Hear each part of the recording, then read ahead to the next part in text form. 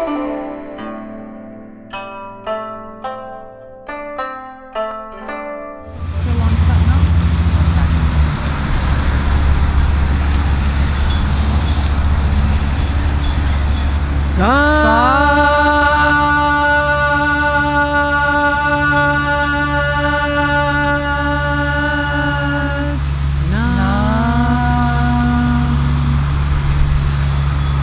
back, everybody, to Light on Kundalini, and I have the honor of introducing you to my dear sister Constance. Constance brought me to yoga three decades ago, and when I saw her eyes after her own personal yoga practice that she took visiting me in New York City, I picked her up. I was three months pregnant. And I saw those eyes and I went, I'll take what you've got right now. And I haven't stopped doing yoga since. And it's such a it's such a beautiful, graceful awakening this kundalini yoga because it brings me to my surprise Constance who who showed up in my class yesterday as a surprise with my own mother, our own mother, which was like, what? I actually thought when I was walking in class that I was in my dream state still. I said, this is not true. So welcome to Light on Thank you. Kundalini. Thank you for having me, Karuna. Yeah, I'm honored. yeah. I'm honored to talk about Kundalini Yoga because it has had such a profound effect on my life.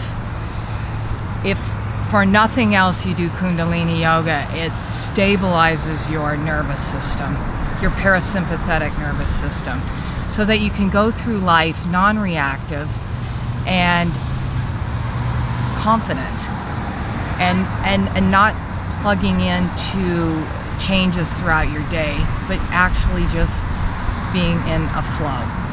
And for that reason, I do Kundalini Yoga, just to stabilize the nervous system because we're all in such a fight or flight, and the cortisol levels are so high that we're reacting all the time. And so to have a tool that is so profoundly your own and experiential because it's for you and it's only for you, the tool, that it affects your life greatly. I remember when you were gifted the teacher training, and I said, Thank you, God. There's a miracle right there. Carrie Ann But, you know, I know, so generous. and. Stephen. So, yeah, she's thanking them. You gotta thank your people. By the way, Thank you.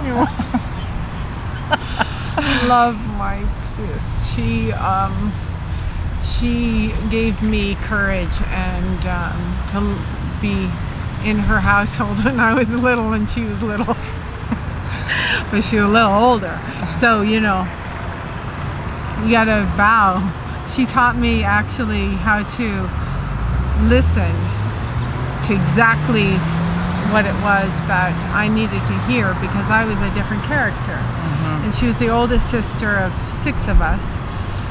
And, you know, she had a lot of responsibility. And then when she speaks about her soul and, you know, her tool, you know, it started early on finding her voice, your voice, right? And didn't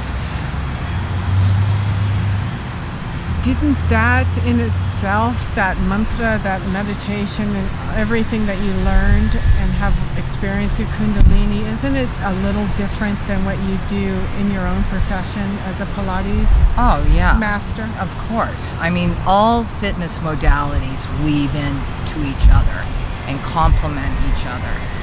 And I started out with Hatha yoga and the physical yogas, and they're all so great Ashtanga, Hatha, all of them, Vinyasana, flow. But Kundalini is a choice. That's kind of like your top of the line because it's you and your body. And do I want to change my story? Am I happy with my story, the way I'm living my life? Or do I want to change my story and make it my own? Do I want to drop maybe certain things that I've been imprinted with? Mm. Hmm. You know, childhood stuff. responsibilities of the family of all of right. us. I mean, we all take on many layers of, you know, our family members. And it's a process to drop each layer and find your own truth. So this is what I've been brought up. And she's not just learned this through Kundalini. This is her channel as well. Uh, so you know, it's always been Thank about you. the truth. Yes, always. and it was and it was a profound you know awakening to i always say to the women who have had children are and who are becoming empty nesters that it's so paramount to have a yogic practice Mm-hmm. it's so paramount to study kundalini yoga because as we if we don't go to the media and dialogue with the media around I'm aging, oh my god, I'm an empty nester, you know that Yeah. sort of thing. Yeah, If we don't go there, we can Mhm. easily as I did easily go there yeah. because that's what the media is feeding us.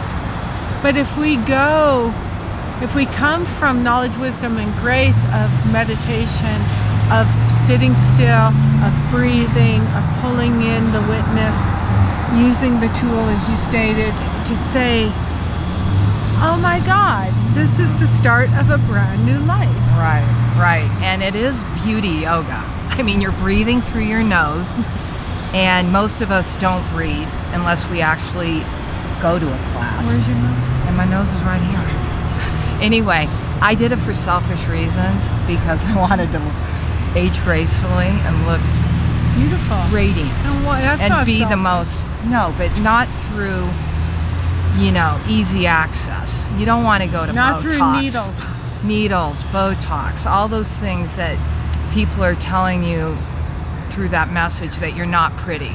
Well, you are pretty. We're all individually gorgeous, but it's finding your own truth, and this is a good way and tool. And you're an awesome teacher. Thank you. I mean, you are Thank an incredible teacher Thank you. because I feel like she imparts the information without any of her own, you know, person involved. It's channeled. And you know when you're speaking from your truth, you hear somebody and you want to change because you don't feel their story in it. So it's nice to have people out there and teachers out there that mm. are taking us to our own inner wisdom and God and authenticity. Mainly that word, authenticity. you know it's such a it's really a truth to um, receive you in class. Mm-hmm. It's a truth. And it's so humbling to have people like yourself of such a high caliber mm-hmm. come and choose to come to this class. Mm-hmm.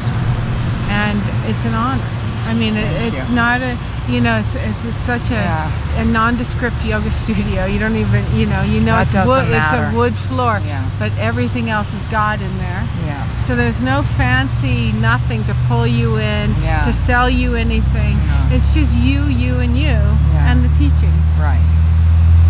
Well, experiential, going to somebody who allows you to find your own experience is the way to the ticket.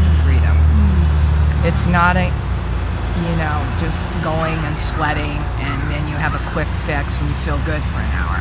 This is a lifelong journey if you want to change your story. And I certainly wanted to change my story. Wanted to make it my own. Wanted to be free and live life amazing and free.